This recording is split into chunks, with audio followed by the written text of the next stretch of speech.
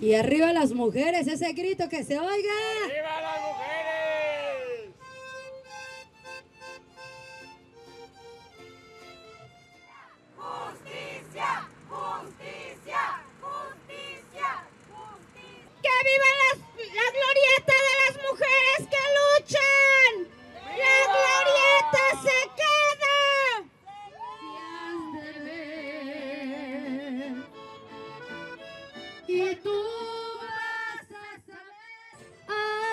Ay, ay, ay, ay.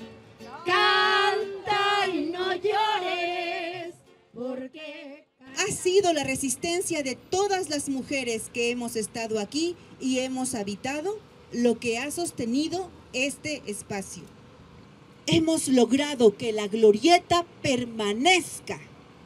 Este es un sitio de memoria, de resistencia y de lucha.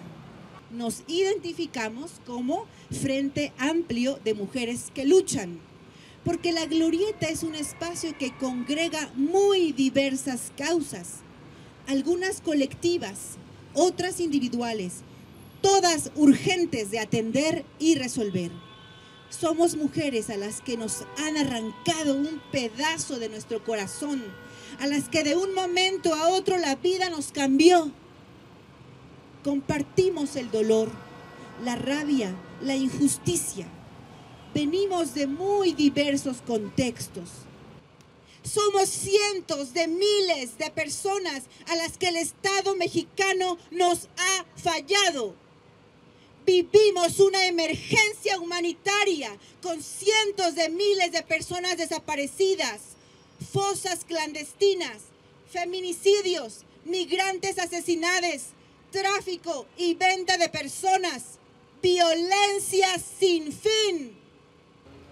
Esta glorieta tomó su nombre en honor a las mujeres zapatistas.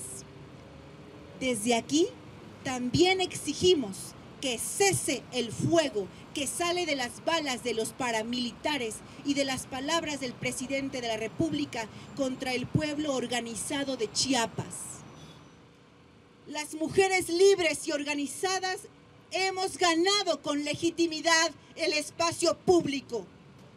No no celebramos vivir en un país en donde recae en nosotras toda la responsabilidad de la búsqueda de verdad y justicia.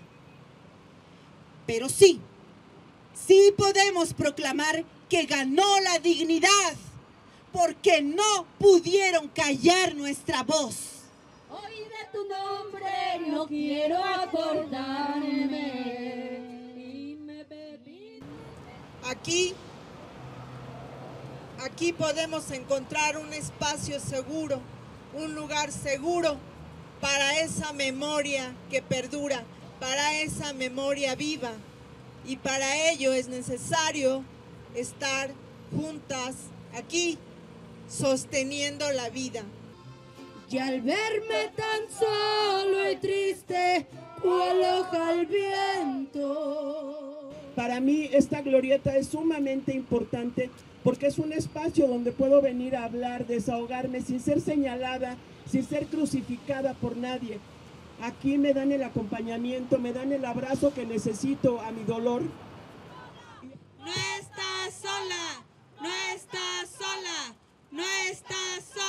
Este espacio es muy, muy importante porque habemos mucha gente que necesitamos ser escuchadas y entendidas.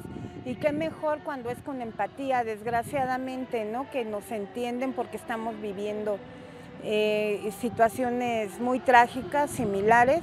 Sabemos lo que es el dolor de una pérdida, ¿no? Mi hija fui víctima de feminicidio el día 12 de junio. Mi vida me cambió de un momento a otro por mi gran pérdida, ¿no?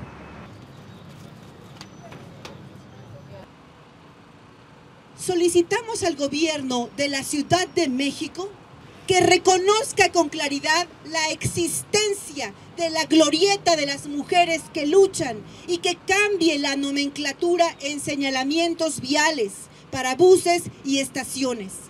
Solicitamos al gobierno que este espacio sea llamada la glorieta de las mujeres que luchan. porque aquí encontramos un abrazo que nos consuela, porque aquí encontramos resistencia y nuestro corazón se siente bien fortalecido.